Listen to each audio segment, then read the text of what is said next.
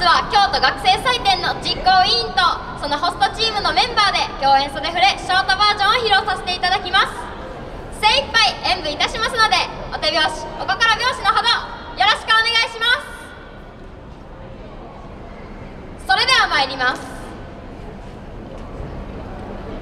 袖振れを持った少年共演袖振れ構え。